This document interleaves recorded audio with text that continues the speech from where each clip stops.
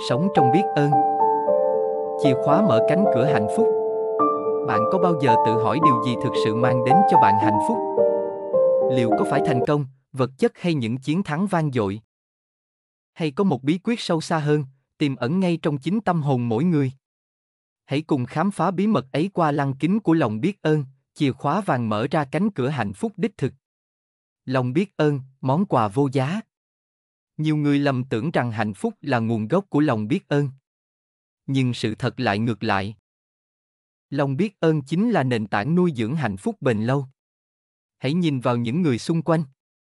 Có những người dù sở hữu mọi thứ, nhưng vẫn chìm trong muộn phiền vì luôn khao khát nhiều hơn.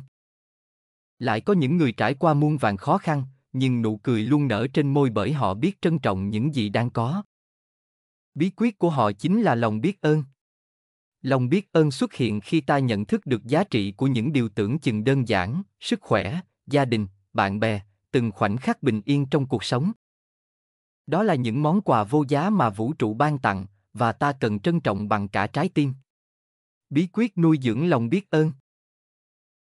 Lòng biết ơn không chỉ là cảm xúc thoáng qua, mà là một cách sống, một thái độ cần được vun đắp mỗi ngày.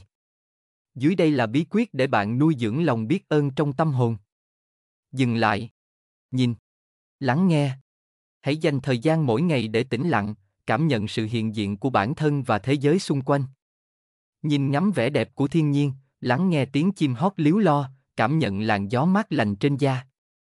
Khi ta thực sự chú ý, ta sẽ nhận ra vô số điều kỳ diệu mà ta thường bỏ qua. Trân trọng từng khoảnh khắc. Mỗi khoảnh khắc trong cuộc sống đều là duy nhất và quý giá. Thay vì vội vã, hãy trân trọng từng giây phút hiện tại, dù là niềm vui hay nỗi buồn.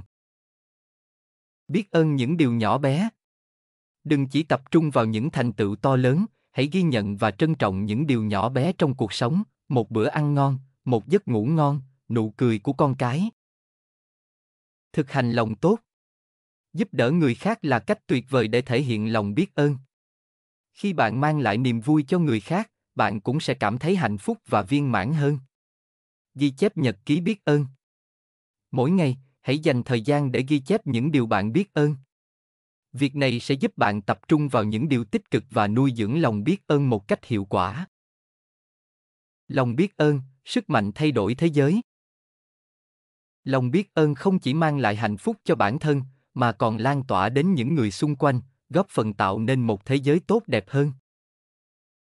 Khi ta biết ơn, ta sẽ bớt đi những lo âu, sợ hãi và sẵn sàng chia sẻ với mọi người. Ta trân trọng sự khác biệt, tôn trọng mọi người và chung tay xây dựng một cộng đồng đoàn kết, yêu thương. Lòng biết ơn là ngọn đuốc soi sáng con đường dẫn đến hạnh phúc đích thực. Hãy nuôi dưỡng lòng biết ơn mỗi ngày để cảm nhận niềm vui và sự viên mãn trong cuộc sống, đồng thời góp phần lan tỏa yêu thương và tạo nên một thế giới tốt đẹp hơn.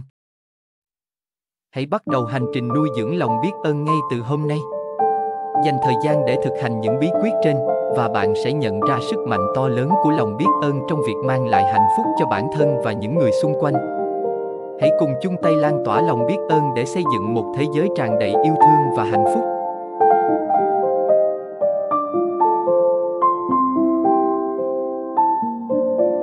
Cảm ơn quý vị đã xem video của chúng tôi. Nếu quý vị thấy video hữu ích, hãy nhấn nút thích và để lại bình luận để chia sẻ những suy nghĩ của quý vị. Đừng quên đăng ký kênh và nhấn chuông thông báo để cập nhật những nội dung mới nhất nhé. Trân trọng cảm ơn quý vị.